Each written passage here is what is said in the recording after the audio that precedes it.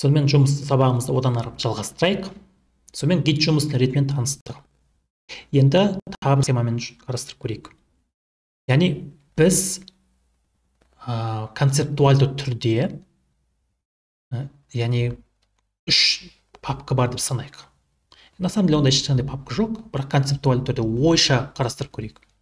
Яғни жұмыс папкасы staging area ә, мен дайындық папкасы деп аудардым орыс тілді әдебиеттерде бұны индексирование деп атайды. Кейде staging area немесе stage просто. Үшінші репозиторий. Яғни репозиторий былайша айтқанда базаға түсу. Енді қараңыздар біздің кез келген файлымыз иә не жұмыс папкасында тұруы мүмкін. Яғни бұның бәрі ойша деп елестеңіздер. Ойша жұмыс папкасында тұруы мүмкін. Дайындық алаңы болуы мүмкін. Не репозиторийде болуы мүмкін. Яғни біз файлды бір күйден екінші күйге ауыстыра аламыз. Мысалы жұмыс папкасынан git add деген команда арқылы дайындық алаңына түсіре аламыз. Дайындық алаңында тұрған файлды git commit деген команда арқылы репозиторийге түсіре аламыз. Осы схеманы еске ә, жаттап алайық. Бұл енді яғни жеңілдетілген қарапайым түрге келтірілген варианты. Енді не істеуіміз керек? Файлды біз қосуымыз керек. Яғни қайда қосуымыз керек? Дайындық алаңына. Дайындық алаңына. Яғни комитке жібермес үшін алдымен не істейді? Өзгертілген файлдарды немесе құрылған файлдарды дайындық алаңына қосады. Дайындық алаңынан кейін комитке қосады. Сонымен мына қараңыздар. Мысалы менде ә, бір папка бар. Иә репозиторий құрылды. И ол папканың ішінде бірнеше файлдар бар. Мысалы мен бір файлды жойдым. Иә қызыл тұрған файл жойылды. Иә мына көкпен боялған файлдар өзгертілді іші ал жасылмен тұрған файлдар ол құрылды. Жаңадан құрылды. Енді қараңыздар мен оны алдымен не істеуім керекпін? Алдымен мен дайындық алаңына түсіру керекпін. То есть дайындық алаңына түсіру керекпін. Яғни қажет файлдарды мен дайындық алаңына қосамын. Түсінесіздер мен дайындық алаңына қосып аламын. Содан кейін барып оны репозиторийға өткіземін. Репозиторийға өткізген кезде яғни коммит жасаған кезде мен міндетті түрде бір комментарий қалдырамын. Комментарий. Яғни бір сообщение қалдырамын. Бұл сообщение арқылы біз кейіннен қандай өзгеріс болғанын біле аламыз. Бұдан кейін біз оны не істейміз? Репозиторийға сақтаймыз. Все репозиторий сақталды. Яғни суретке түсірілді. Біз енді одан жоғалтпаймыз. Біз кез келген сәтте оған қайтып оралып келе аламыз. Тура сол секілді жұмыс папкасында тұрған басқа файлды не істей аламыз? Дайындық алаңына алып келе аламыз. Яғни дайындық алаңына қосамыз. Ол git add деген команда арқылы жүзеге асады. Басқа файлды да қоса аламыз. Яғни бірнеше файлды да қоса аламыз. И барлық файлды не істейміз? Енді git commit деген команда арқылы репозиторийге қосамыз. И қажетті бір хабарлама немесе комментарий қалдырамыз. И сөйтеміз да оны не істейміз? Базаға түсіреміз. Жалпы схемасы осындай. Тағы қайтып оралайық. Иә бізде ойша мынандай үш папка бар деп санаңыздар. Жұмыс папкасы және файл жұмыс папкасында тұр деп санаңыздар. Git add деген команда арқылы біз ол файлды дайындық алаңына алып келеміз. Және git commit деген команда арқылы репозиторийға түсіреміз. Яғни базаға түсіреміз. Сонымен ә, мына бір схема негізі док, официальный документтен документациядан алынды. Қараңыздар файлдар ең бірінші антракет яғни бақыланбай тұрады. Содан кейін ол файлды біз не істейміз? Дайындық алаңына түсіре аламыз. Staged. Және дайындық алаңынан кейін оны комит жасасақ иә комит жасасақ оны базаға түсіреміз. И бүкіл өзгерістер сол базаға түседі. И біздің файлымыз қайтадан өзгертілмеген күйге түседі. Unmodified өзгертілмеген күйге түседі. Егер біз файлымызды ашып белгілі бір өзгерістер жасайтын болсақ ол қайтадан өзгертілген вариантқа түседі. Modified. Яғни ол файл өзгереді. Енді оны не істейміз? Қайтадан дайындық алаңына ауыстырамыз қайтадан коммитке түсіреміз. Түсінесіздер ма егер оны біз жойып тастайтын болсақ ол вообще бақылаудан қайтадан шығады. Бақылаудан шығып кетеді. Егер қайтадан бақылау алғымыз келсе оны не істейміз? Қайтадан қосып дайындық алаңына түседі и қарап коммитке жіберіледі. Давайте ә, программаны тексеріп көрейік. Мысалы бізде тест текст деген файл бар. Git статуспен тексеріп көрейік. Untracked болып тұр. Себебі бұл файл қазір ғана құрылды и ол untracked. Яғни мына күйде тұр untracked. Енді біз git add деген команданы пайдалану арқылы оны дайындық алаңына түсіреміз. Жасап көрейік. Git add и там тест тексті команданы тереміз. Біз енді бұл файлды дайындық алаңына түсірдік. Давайте статус тексеріп көрейік. Міне қараңыздар. Енді ол не істеуге дайын дейді? Өзгерістер комитке түсуге дайын. Жарайды коммитке алып көрейік. Git commit. Git commit деп қазір просто тере салсақ менде текст редактор ашылады. И сол жерге мен комментарий жазу керекпін немесе қысқаша сообщение қалдырып кетуге болады. Мынау бізде комментарий. Қысқаша. Давайте жазып кетейік тест файлы тест файлы құрылды дейік.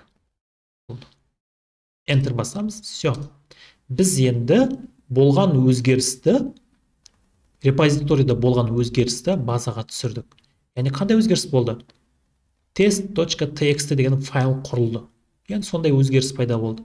Оны біз не істедік?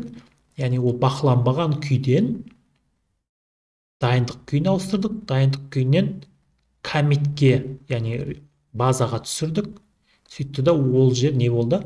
Unmodified деген күйге түсті. Яғни ол ешқандай өзгеріс жоқ. Себебі өзгерістің бәрін біз не істедік? Базаға түсіріп қойдық. Қайтадан git статус тексеріп көреміз. Яғни біздің жұмыс папкамыз таза. Ешқандай өзгеріс жоқ. Енді қараңдар файлды өзгеріс жасап көрейік. Яғни файлды біз өңдеп көрейік.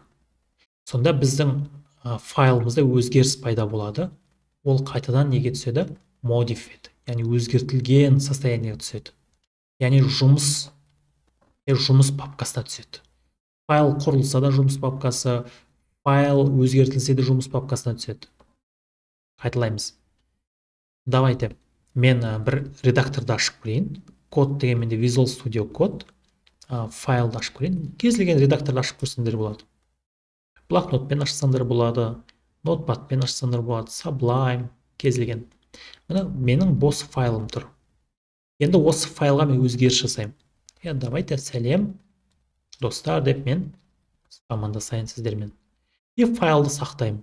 Файлды сақтап жабып тастайын енді қараңдар қайтадан git статус тексеретін болсақ қараңдар modified деп тұр. Иә modified яғни бұл не деген сөз? Файлда өзгеріс болды және ол иә өзгертілген яғни модифицированный состояниеге түсті. Яғни бұл жұмыс папкасына түсті. Түсінесіздер ма жұмыс папкасына. Енді біздің міндетіміз не істеуіміз керек? Қайтадан дайындық алаңына жеткізуіміз керек. Не істейміз енді? Дайындық алаңына қосамыз стейдж состояниесіне git add и файлдың аты тест тексті git статуспен қайтадан тексеретін болсақ git статус все. Біздің ә, файлымыз коммит жасауға дайын тұр. Яғни базаға түсуге дайын тұр. Қайтадан базаға түсіреміз. Минус м. Яғни өзгеріс жасалды деп қысқартып жаза салайын өзгеріс жасалды. И осылай бізде айналып жүре береді. Егер файлды жоятын болсақ ол не істейді? Антракетке кетеді. Яғни уже ол бақылаудан шығып қалады. Енді бұның бәрі қайда түсіп жатыр? Бұның бәрі базаға түсіп жатыр. Иә git log деп теріп көрсек міне бізге ақпарат береді. Яғни git logқа мен отдельно тоқталамын. Алдағы сабақтарда әзір ол қажет емес. Так сабағымызды үзе тұрайық. Қайтадан жалғастырамын.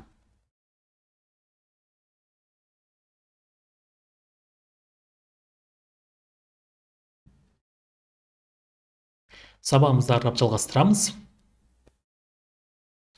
Сонымен git add деген команда арқылы біз файлдар қосады екенбіз. А мына жерде мен add деген команданы ұмытып кетіппін. Қараңыздар. Яғни git add if бірнеше файлдар жаза беруге болады. Арасына пробел қойып.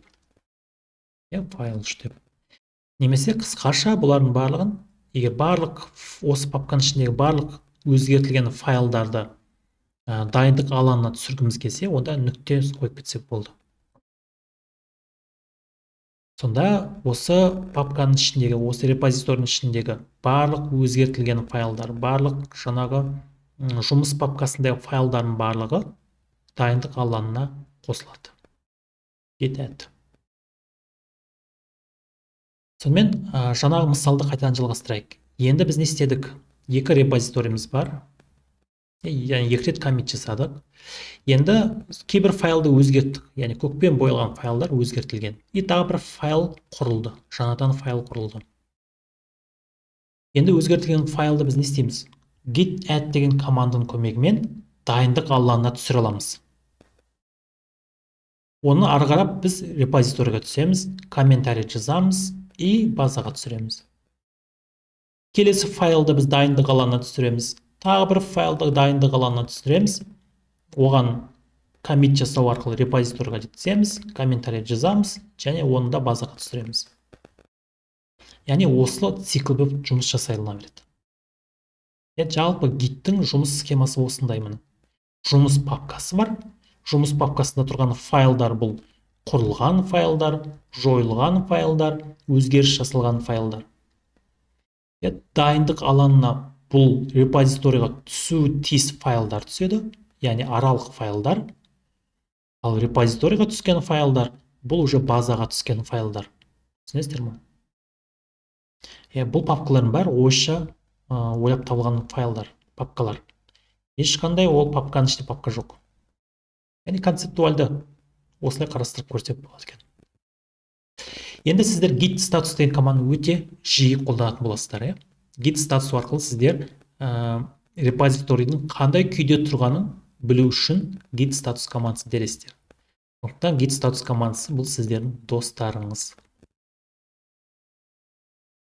Енді git commit деген команданы жаңа айттық. Бұл не істейді?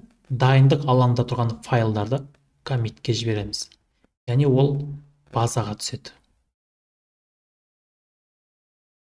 Және ә, git commit деген өзін кейін танысамыз ә, тағы да қолданамыз алдағы сабақтарда. Әзірге біз git commitті мынандай түрде қолданамыз. Яғни қысқаша сообщение жазамыз. Иә тире м деген жалауша бізге қысқаша сообщение жазып қалдыруға мүмкіндік береді. Сонымен бүгінгі сабағымыз аяқталды. Сау болыңыздар. Кездескенше.